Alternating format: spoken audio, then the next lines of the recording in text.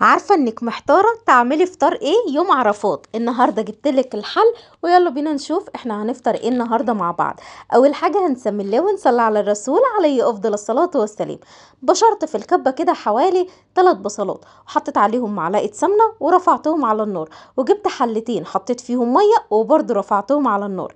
طلعت فرخة وحطيتها بقى كده تفك شوية وبدأت اللي أنا أقطعها أول ما بدأت اللي هي تفك بنسبة 50% قطعت الفرخة على 12 قطعة وبعد كده أول ما المية غليت نزلت بالفراخ اللي أنا قطعتها جوه المية.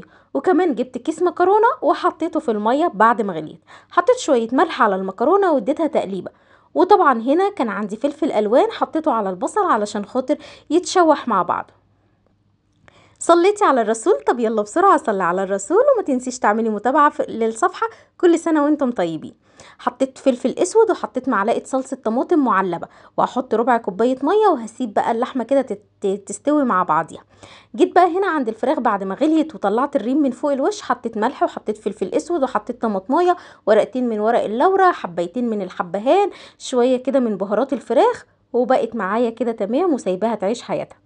اللحمة اتعصجت بعد ما حطيت الملح وجبت بقى هنا معايا معلقتين من السمنة عليهم معلقتين من الدقيق ومكعب مرقة دجاج.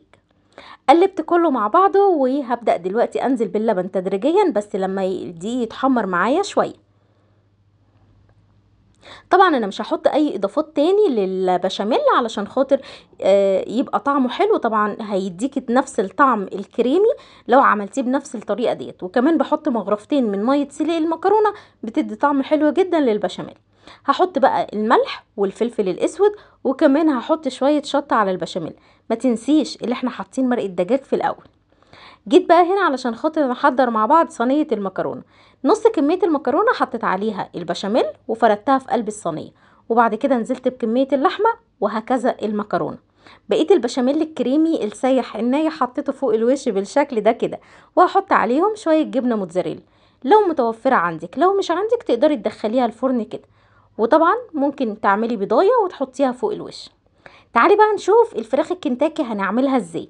حطيت بضاية ملح وفلفل اسود كوباية مية نص كوباية من الدقيق وخلطت كله مع بعض. وكمان حطيت شوية كركم عشان يدي لون حلو قوي للفراخ. وكمان حطيت حوالي معلقة كبيرة من الخل. نزلت بكمية الفراخ كلها بالشكل دوت جوه الطبق.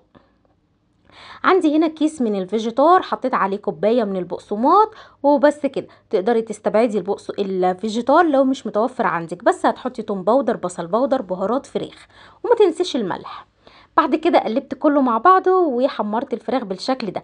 كنتاكي ده ولا مش كنتاكي؟ أكلة سهلة وسريعة وطعمها حلو ومنجزة كمان. وبفرخة واحدة بس تقدري تأكلي البيت كله. كل سنة وأنتم طيبين كل سنة وأنتم بألف خير.